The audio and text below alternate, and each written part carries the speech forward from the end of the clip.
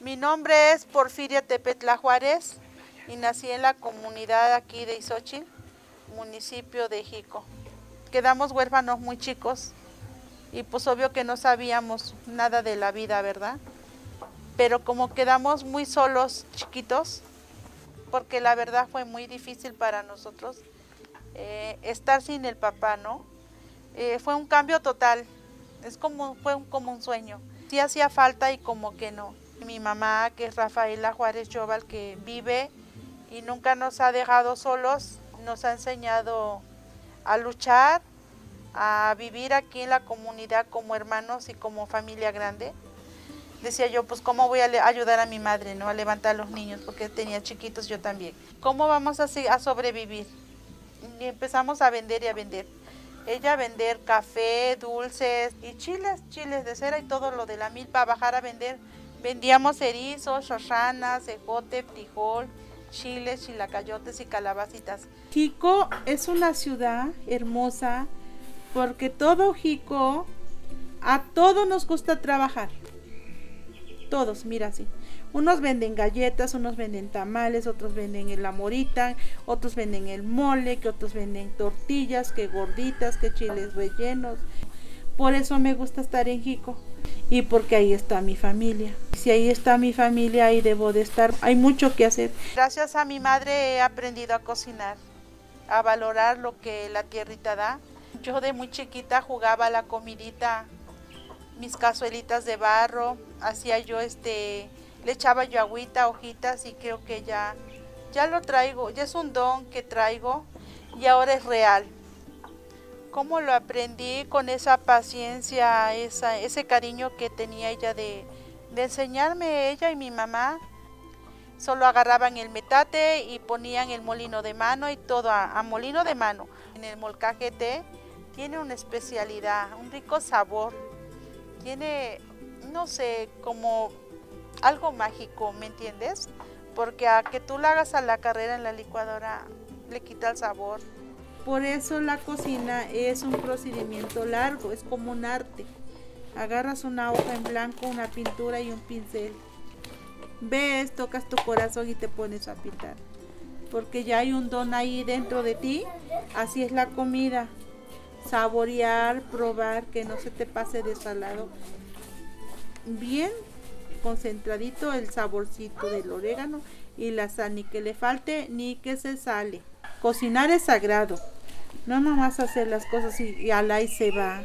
A mí no me gusta la palabra al ahí se va. Que no tampoco se te queme, que no se te queme el, el pipián y la jonjolín porque se va a amargar. Todo eso es un detalle. Y bueno, eso se vive aquí en la comunidad. Nos gusta ganarnos nuestro dinero con sacrificio y con esfuerzo para sentirnos bien y felices. Empecé a vender comida, vendo chiles rellenos, tamales, salgo a vender plátano maduro también. Y tratos que a mí me gusta tener dinero. Trajo de todo el COVID. Trajo angustia, desesperación, soledad, tristeza, enfermedad, miedo. Y trajo como que habemos muchas familias que estamos desunidas. Trajo unión, trajo solidaridad. La solidaridad es que yo tengo, puedo decir, tres kilos de frijol y veo que mi amiga o mi vecina no lo tiene, le comparto un kilo de frijol para que le dé a sus niños de comer. Unos frijoles bien recociditos en la lumbre de leña, con su ramita de cilantro, de pasote y un pedacito de cebolla y una sopa de frijoles, pero que eso se llama compartir. Da tristeza que, que yo me sienta a comer y que a alguien le falte el alimento en su mesa porque la comida es sagrada, pero hay a veces que no tenemos trabajo, no tenemos pesos para comprar el sustento de la semana. Se trata de tocar puerta. Ayúdame que te ayudaré o vuelta a mano. Tengo muchos jitomates, tienes muchas sopas. Cambiamos, ¿no? Comes tú y como yo. Se llama truequear. Porque gracias a Dios nosotros somos afortunados. Lo tenemos todo. ¿Por qué? Porque tenemos ideas de sobrevivir, tenemos ganas de luchar. Estás preocupada, no tienes trabajo, no tienes pesos. ¿Y cómo vas a pagar el mes?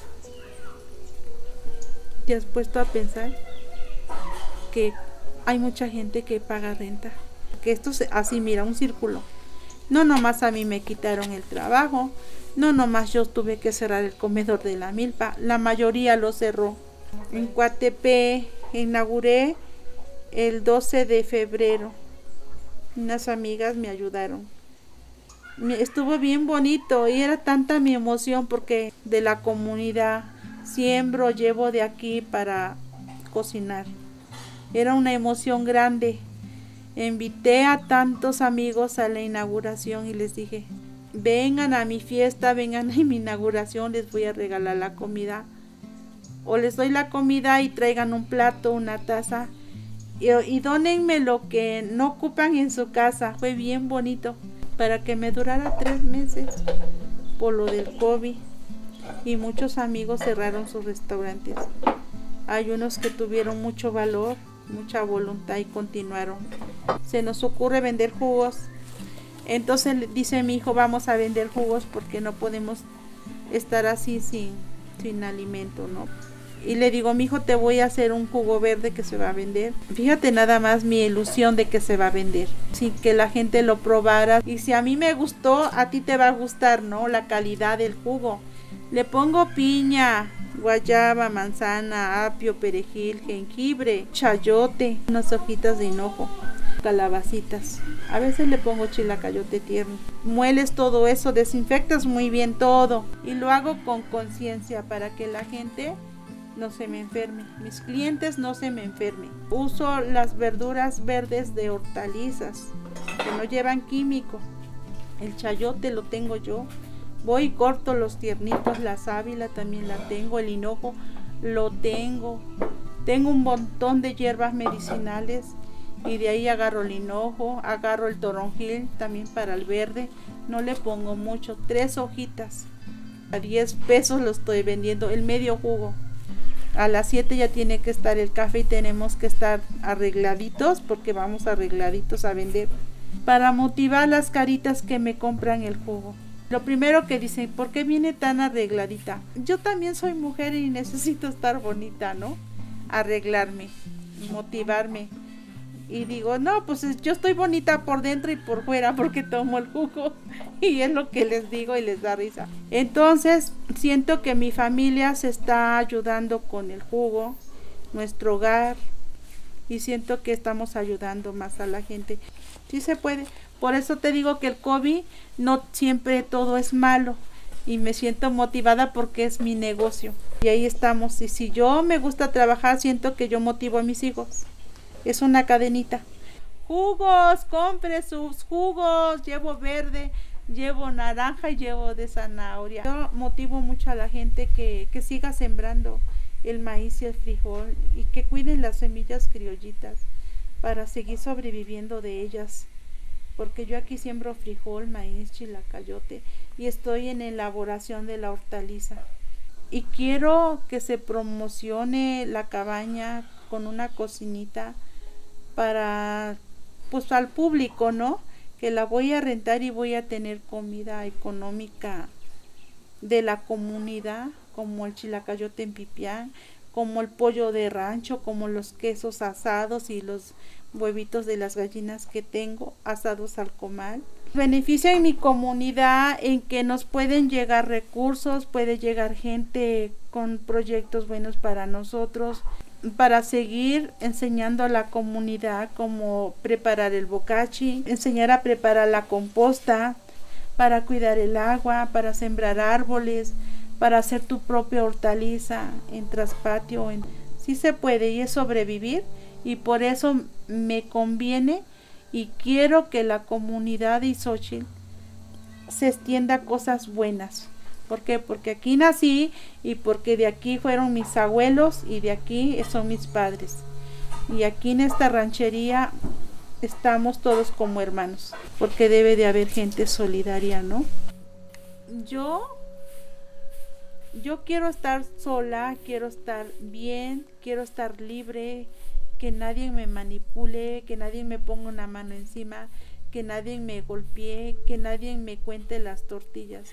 ¿Por qué? Porque yo solita me he sabido mantener sola y siento que soy la mujer más feliz porque porque he podido no me he dejado caer con palabras feas ni ni me he caído en bajo estima ni me he deprimido al contrario siento que he luchado por mujeres que, que son golpeadas que viven con el marido y que les pegan o a las hijas o que porque son mujeres y me da mucha tristeza cuando yo oigo que ya mataron una niña, que ya secuestraron una niña, que ya la violaron o que no sé cuántas cosas tan feas les hicieron.